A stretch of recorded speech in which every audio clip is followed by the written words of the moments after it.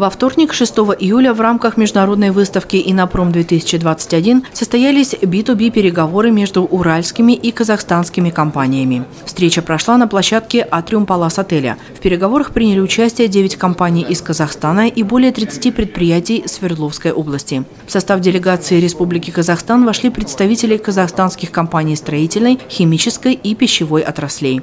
Гостей поприветствовал вице-президент Уральской торгово-промышленной палаты Михаил Козлов и заместитель генерального директора акционерного общества Центр развития торговой политики QazTrade Нуралы Букейханов. Модератором встречи выступил уполномоченный торгового представительства Республики Казахстан в Российской Федерации по Свердловской области Александр Цыганков. В рамках мероприятия был подписан меморандум о сотрудничестве между акционерным обществом Центр развития торговой политики Куастрейд и Уральской торгово-промышленной палатой. По словам вице-президента Уральской торгово-промышленной палаты очная встреча была очень важна для поддержки и развития торговых отношений Свердловской области с Казахстаном. Заместитель генерального директора АО «Центр развития торговой политики Куастрейд» Нуралы Букиханов поблагодарил организаторов переговоров Уральскую торгово-промышленную палату и торговое представительство Казахстана в Свердловской области и отметил, что Казахстан намерен постепенно наращивать частоту визитов на Урал. Наше сотрудничество оно заключается не только в торговле, но и в инвестициях,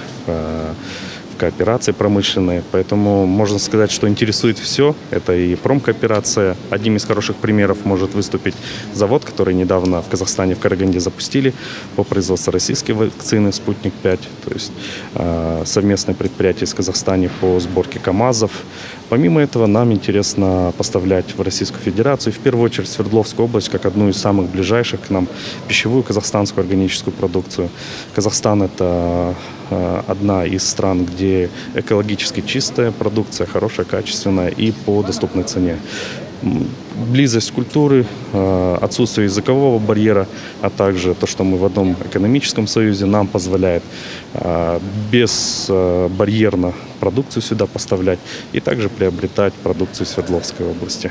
Около 10% товарооборота с России приходится на Свердловскую область. На данный момент он превысил 1 миллиард. По всем вопросам сотрудничества с Казахстаном и другими странами можно обращаться в Уральскую торгово-промышленную палату. Основные темы, с которыми обращаются, их две, наверное. Первое – это поиск партнера.